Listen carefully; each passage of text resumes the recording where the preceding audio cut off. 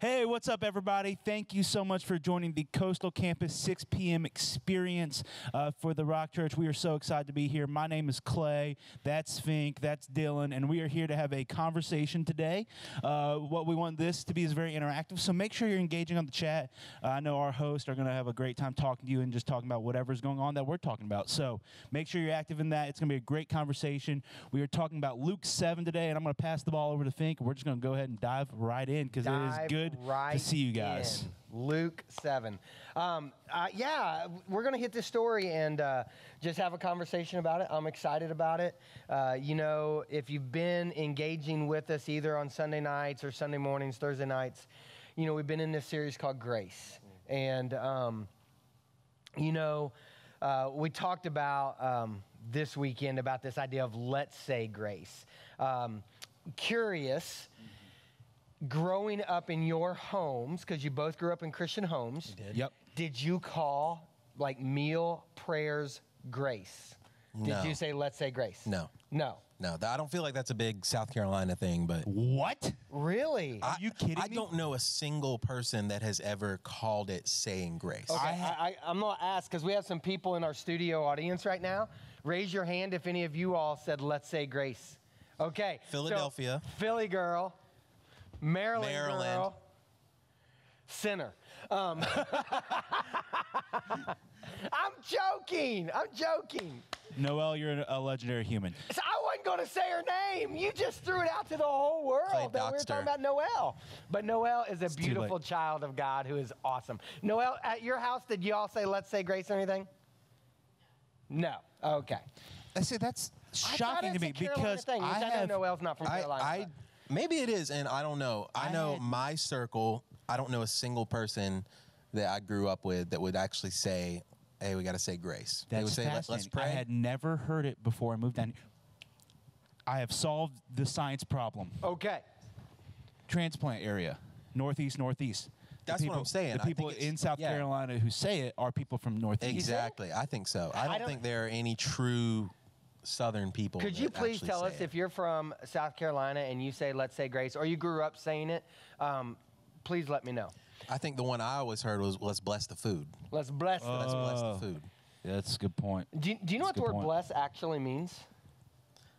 I don't want to say yes because I know you're going to drop knowledge on me that I'm not prepared for. So It means to speak well of.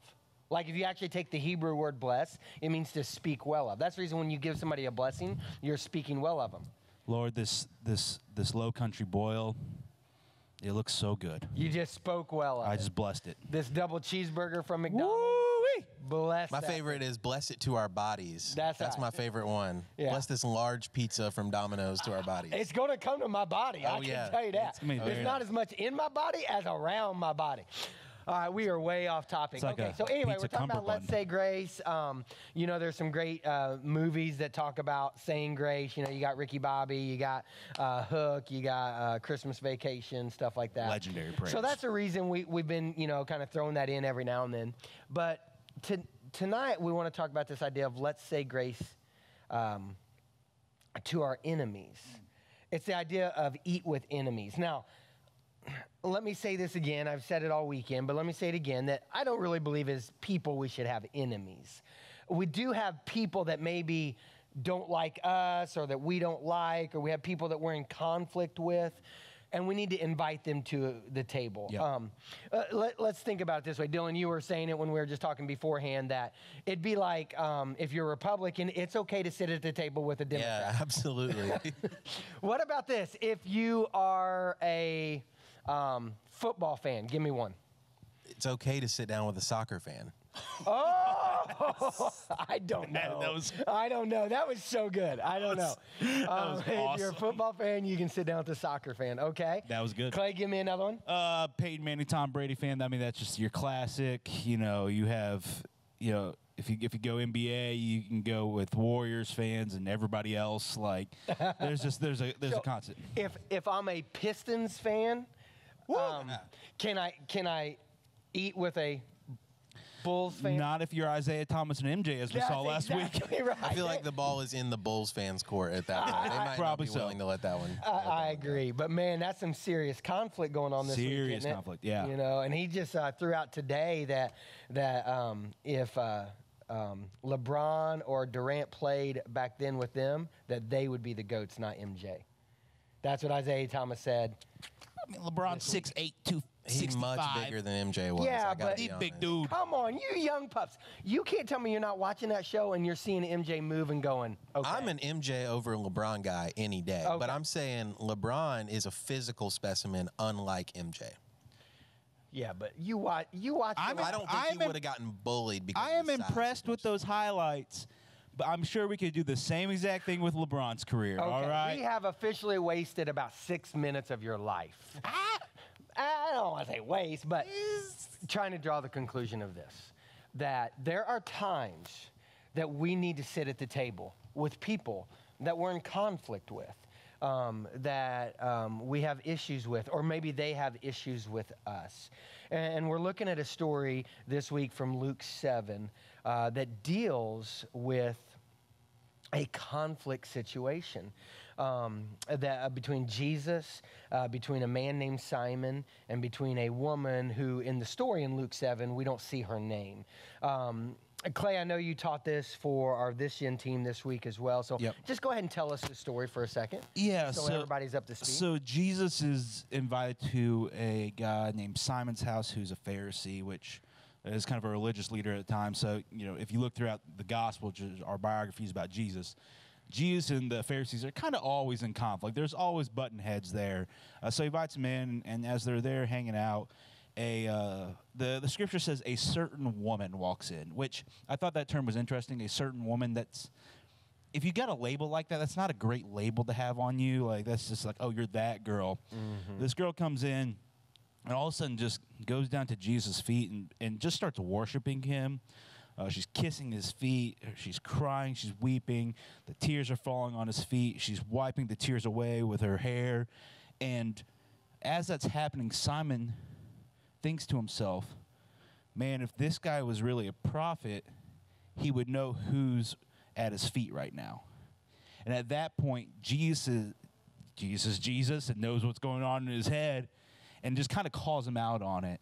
And then he goes and he tells a story about forgiveness and and uh, two guys having debt, and uh, one of them had a larger debt than the other, and he asked which one would feel more forgiven, which one would feel more appreciative of the uh, debt being forgiven, and and Simon was like. Well, the larger one, of course. And then Jesus goes into the, the example of, hey, you have this woman who is a sinner, but she is thankful and she's loving me unlike you because she's recognizing her sin. She's recognizing that that she needs me in her life, and you've basically done nothing. So Jesus looks at the the girl and says, "Your sins are forgiven." And some people around the table are like, "Who's this guy to even think that he could forgive sins?" yeah. It's a really powerful story of, of conflict where there could have been a lot of conflict between Jesus and this girl. There's conflict between Simon and Jesus, and there's conflict between Simon and the girl. So th- there's a there's a lot of conflict going on there. A lot of conflict, yeah, yeah. And and I think if we all admit that we live in a world where there's conflict and, and A whole lot of it. and some people love conflict and some people hate conflict. Some people will lean into conflict, some people will lean away from it. I know in, in your two personalities that, that Dylan, I know that you've said that you lean into conflict Yeah, and, I would say that. and Clay, you say that you lean away from it. I run away from conflict. Yeah, yeah. Not a fan of it. I, you know, eh, I, agree with you on some parts of that, but I know anytime sports is brought up, you're definitely one to run into conflict on sports. I think we may have just seen an example of that. I don't Yeah. know, three minutes ago. Yeah, but we'll get more into that in a second um, about the idea of what do we do with the conflict. Um, I want us to to start though with the idea of the grace. Um, you know, because if, if you tuned in over uh, on Sunday morning, I talked to this idea about this story gives us a great uh, visualization of how to give grace and share truth at the same time. And we need to bring people into our lives. We need to sit down at the table with them and eat with them, or sit at the, um, the boardroom table if it's at work or whatever it might be, and be able to extend grace to those who maybe we're in conflict with or maybe don't like us for some reason. Um, so let's start with that grace idea. And, and with that, it's really inside of the story of Jesus giving grace to this woman um, and also given the, uh, the illustration, the parable about the two men who owed money and uh, both of them were forgiven. So, just in that story of the parable per se, let me ask it this way Why is grace needed? How do we show grace? What, what is the correlation to the grace needed in both of the guys uh, who owed money in the parable. So let's just talk about this idea of being willing to either share grace or the need to share grace. Why should we even do it? So. I think the the concept of, of needing to share grace all begins at an inward perspective, right? If, if you really look at who we are, we are all sinners in, in some form. We've all made these mistakes. We've all indebted ourselves to God. And uh, just like that, the story, the parable that was said, you had these two guys who were in debt, and and and their debtor, you know, for, forgave them, and and that was a powerful moment, and it changed their life, and they should have been very, very thankful, and they were. And then at the same time, we have that with us and God. Like God looks at us and says, "Look, I know you've sinned. I've known you made these mistakes. I've known you've fallen away from me. You are in debt to me because of the sin."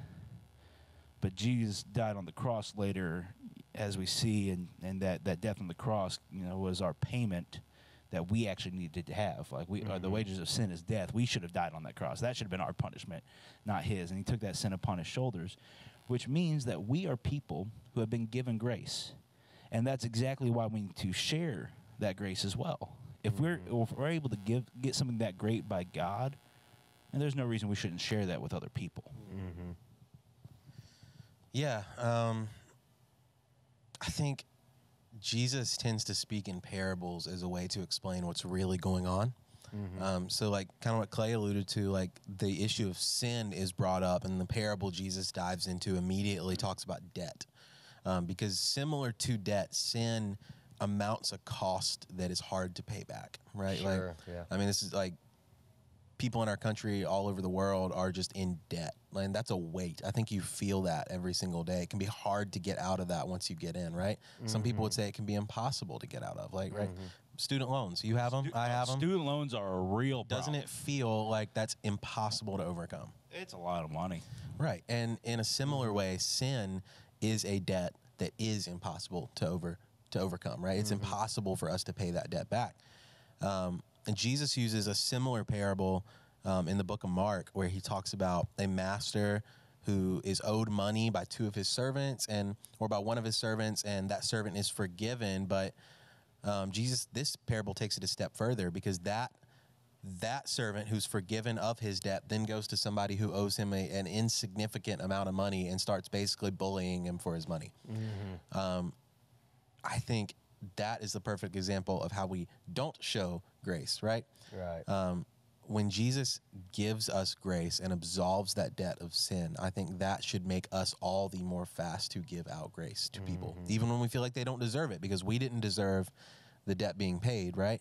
Yeah. So if we are given much, we should give much. Mm-hmm. Yeah. Well, and, and I think that, that that story you just brought up, that parable that you just brought up, is a great example of what's happening here in the story you have Simon who who should be for, forgiven by Jesus. You know, there's an opportunity for him to be forgiven by Jesus as someone who's made mistakes, as someone who's fallen away, as someone who, you know, was human. And mm-hmm. when you're human, you're gonna sin at times. And he's in that position. Yet he looks at the woman and says, "Does he not realize there's a sinner at his feet?" Mm-hmm. This certain woman, the, the the sinner is weeping at his feet. Why does he even let her close to him? And it's that kind of mentality that, that shows that grace was available for Simon. He could, you know, he could reach into that and he could give that as well, right? He could receive it and he could give it. But giving grace is pretty impossible to give when you don't realize you are also in need of grace. That's right. And and that was just he just didn't realize that he needed grace. Mm-hmm. And because he didn't realize he himself needed grace, he thought he was better than the other person, uh, than the woman, and then wouldn't give that grace to her. Mm-hmm. And, and unfortunately, I think that's a, a lot of people in our culture we struggle with is that we don't think that we are the problem. We don't think we have problems. Deep down in our heart, we know we do, Right. But we ignore them. We, we kind of say, oh, you know what, that's. I'm not as bad as that person. I'm not as bad Well, as that yeah, person." that's what Simon the Pharisee did, right? This Yeah. pious religious leader says, Yeah. "Well, doesn't Jesus know the woman that that is like wiping his feet right now? Doesn't he know that she's a sinner?"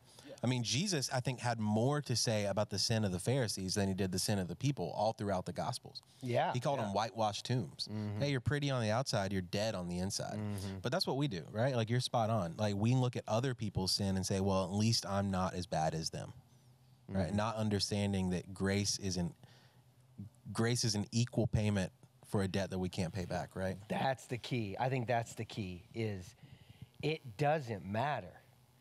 Sin is sin, and when you sin, then we all have an equal payment that we can't make. Right, Because right. even when you said the student loans, it seems like an insurmountable debt, okay? That you're trying to just you're just trying to claw at.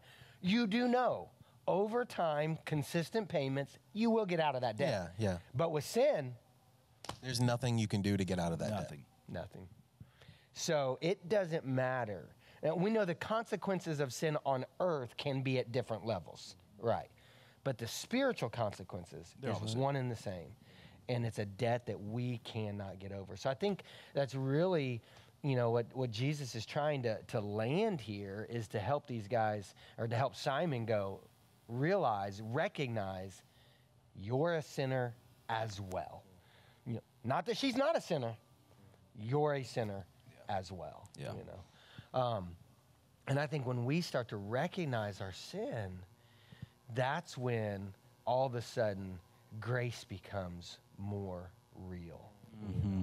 Absolutely. Um, and, and I know that in my life, and I'm sure you guys could speak to the same in your life. You could remember, you know, whether it was the day that you truly was like, Jesus, I need to surrender to you, um, whether it was, you know, a sin you, you did and you're just like, I need Jesus so bad, you know. It's, it's what we all got to recognize. So uh, let me flip the, the coin just a little bit to the second part of the story. Um, and, you know, so we see this grace interacting, and we see this parable that he's told, and, and then he, once he's done with the parable, he, he speaks to the woman, excuse me, he, he looks at the woman, but speaks to Simon, and then talks about she's giving love because she's been forgiven of a lot, and you're not. He starts to just speak some serious truth to him. Absolutely. He brings up, hey, we're in conflict. Let's deal with this right now. So let, let's talk about that because when we go to a table, when we're sitting at a table with people who maybe don't like us, we have to extend grace because even though maybe they've hurt you, we're all still sinners and we've got to walk out mm-hmm. grace. It doesn't mean in the absence of truth, though. Right. You know what I mean? You gotta have truth. and, and I think that's where so many times that's what happens is you you recognize conflict and it's Clay. You mentioned I want to run from it. You know what I mean? Uh, yes, absolutely. so when you and Katie are in conflict, oh, I don't know if I should go here. Um, That doesn't happen, right, Clay? you know, we've we've never gotten into a fight ever. We're a perfect couple. how quick are you to say I'm sorry? Oh, to the point where she says, "If you keep saying I'm sorry, I'm going to be actually mad at you." There you, yeah, because you're just trying to like, I just got to get past it. I just got to get, get past, it. it, yeah. Um, and, and Dylan, you, you confess that it's like, no, I'm okay. Yeah. yeah. Um, Your wife is in the room. I She's could pull right her up and we give the her a microphone so- and go, all right, let's let's talk about She's this. fact checking everything I say from this point forward. But there is great value in speaking truth into the midst of conflict. Um, and we see Jesus just speaking truth into Simon's life right now. So Dylan, I'm just going to ask you just about this part of the story. Like, what do you what do you see there? And and and when it comes to to speaking truth in conflict, go ahead and just share with us a little bit. Well, I think the biggest thing is that a lot of people fear conflict, and I don't think conflict is something to be feared, right? Like, and this is all kind of based around um, the scripture that says, "As iron sharpens iron, so one friend sharpens another," right? how how does that process happen? If we think about it, like scientifically, iron sharpens iron through friction, right? It's not it's not until the two things rub against the grain, right? Like I've got a knife sharpener at home that I use for cooking. It's not until I go against the grain of the knife that the knife becomes more useful. Mm-hmm. If that makes sense. Yeah. And I think that is really what scripture is getting to. Like w- unless we have this friction, unless these sparks fly at times, we're not going to we're not going to grow, right? Unless I have somebody to come alongside me and challenge me and be like, "Hey, I love you, but you're wrong." I'm, mm-hmm. I don't know I'm wrong. If we surround ourselves in an echo chamber of yes men and people pleasers and people that are afraid of conflict and run from it, we are not going to grow more like to be more like Jesus, right? Mm-hmm, like mm-hmm. scripture uses the analogy of vines and branches, but it says that vines are pruned so mm-hmm. that they can grow. If you don't have someone to cut the dead things out of your life, how are how are the good things ever going to thrive? So I think conflict is, is something to be embraced when it's handled well, Yeah. which I think we get a picture of by looking at how Jesus handles it, especially in this story. Sure, sure. And well, let's just keep going there. How do we see Jesus handling the conflict from either one of you? Well, and the, it was beneficial for me to to really understand and view this story from that side because I I struggle with conflict, and I know there's a lot of people watching that, that do as well, and I know there's a lot of people that are, are more in Dylan's world. But what I what I learned from the story is it's Jesus was just being very real about what was happening at that moment. Like there wasn't a lot of hiding, there wasn't a lot of uh, faking his way through it. It was like, hey, this is what's really happening. He he recogni- he was very real that there was a problem that occurred, that there was a sin, there was an issue that occurred, and there's a lot of us that that we feel like, ah, man, like. Uh, I don't really know if there's a problem here, but I know there is deep down. And then what ends up happening is we don't address it in the person, and then we go and we're talking to another friend, or talking to our spouse, or we're talking to our coworker, and we share the problems there. And then all of a sudden, we're talking behind someone's back about the problem that occurs. That person doesn't even really recognize that there's a problem, but there's a there's a problem going on behind the scenes. And then Jesus was very real about what had happened, and I love that he kind of just spoke very clearly, like, "Hey." She did this, you did not. She did that, you did not. She did this, you did not. And we just kind of went down a line and said, like, this is what occurred. And I thought that was important because when you're dealing with the issue of conflict, you have to be very real and acknowledge what happened because what will happen is if you don't do that, your feelings will get in the way of facts. And mm-hmm. your feelings and your emotions and all these things that are stirring up you, or your anger, your sadness, your frustration, your confusion, will twist reality. I, I can't tell you, you're someone who did student ministry for 20 years.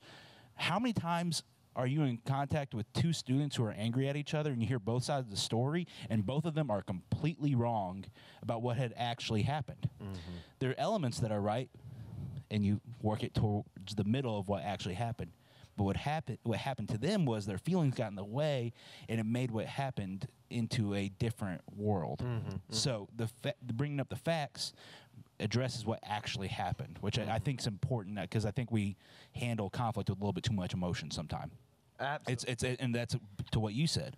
It's something to make us better, not not an emotional type. thing. Right. It's not a conflict. And I think the problem is that sometimes people have come to us in conflict and handled it wrong.